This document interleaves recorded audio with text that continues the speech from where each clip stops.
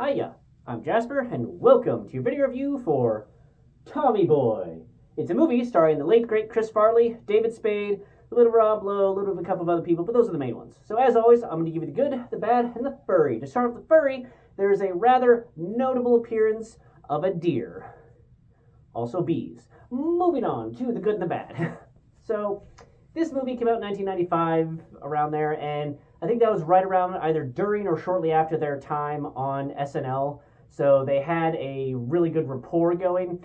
And this movie was just, it's a buddy comedy movie that just puts those two together, and it's fantastic. What I will say is that rewatching this from whenever the last time it was that I did watch it, I noticed that, like, so David Spade's character is a sarcastic asshole to everybody but there are some things that he does that don't make much sense. Like, he says some of the things that I'm sure we would all be thinking if we were at a job that we hated with bosses that we didn't like, type of thing. Like, he says some of those, but he says them out loud to the people, and I just, I feel like he probably wouldn't be able to get away with some of the things he was saying to the people he was saying it to.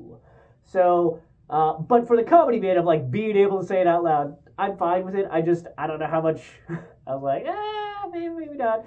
And then um, they also I don't know, just just a couple of just a couple of things like that. It was just kind of like really, um, where talking about Chris Farley's character when he first comes back. They make a big thing about everybody being like, "Hey, Tommy boy, you're back! Hey, Tommy, Tommy, yeah, it's great to see you!" And all the fun thing, like everybody loving him. And then like the second, um, this is like I don't know, 20, 30 minutes, 20 minutes into the film, so I'm not going to call this a spoiler. But like the second that he has to take over the company for whatever reason, like then there's this asshole guy who's part of the workers and is just like shitting all over Tommy Boy for being an idiot, and then like everybody else either doesn't say anything or doesn't contradict that guy or like some of them ha ha ha along with him, and it's just like wait, I thought everybody loved you, and now and now this guy is the voice of everybody that's working for you. Like, did you love him or did you not love him? Like, come on, you got you got to decide because if he's gone to college for almost ten years, like you got to know that eventually he's going to be taking over the company, and if you still think he's an idiot, what like he's going to take over the company at some point. You gotta you gotta choose, man. I don't know. So that seemed a little off, but it was fine because I actually kind of liked the storyline overall. It was fun to see the changes that occurred for Tommy Boy as the story progressed. And I didn't really remember like a fun story so much as just the really, really funny meme comedy bits where it's like, not so much here or here, but right here, and that sort of thing. And like, oh, that'll really help the resale. That you know, just a lot of very quotable lines are great, but it actually has a pretty decent storyline too.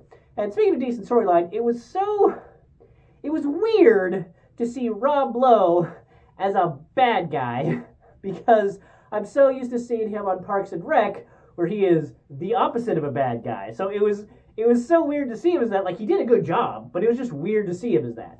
Um, so overall, I still think that this movie is funny. It's not it's not a laugh every second, but it's a fun comedy starring Chris Farley. So if you like Chris Farley's antics on SNL or in his other movies, you're gonna like him here. And if you like David Spade's voice being a sarcastic asshole, uh, for those of you who maybe aren't familiar with him, if you've seen Emperor's New Groove, he's the voice of the Emperor. So if you liked that attitude, but IRL, here's here's where it's at. Cool.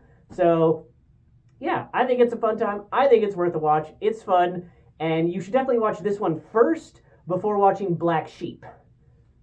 Just throwing that out there. I think you should watch this one first before watching Black Sheep. Uh, but that's really all I have for this one. Thanks for coming. Thanks for watching. Hope to see you at the next one. Bye.